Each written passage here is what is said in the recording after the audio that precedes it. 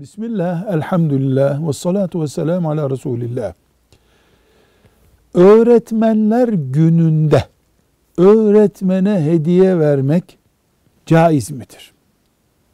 Bunun dini bir boyutu yoktur. Yani öğretmene öğrencinin hediye vermesi, bunu öğretmenler gününde vermesi, başka bir zaman vermesi bir hediyeleşmedir bu. Bilakis hediye sünnettir.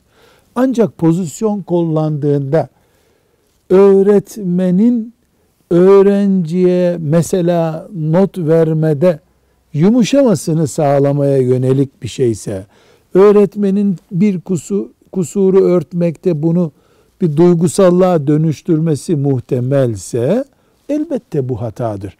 Ama öğretmenler gününde hediye bir din boyutu taşımaz. Helaldir, haramdır demeyi gerektiren bir şey değil. Beraberinde getirdiği sakıncalar, muhtemel sakıncalar açısından ele alınmalıdır. Velhamdülillahi Rabbil Alemin.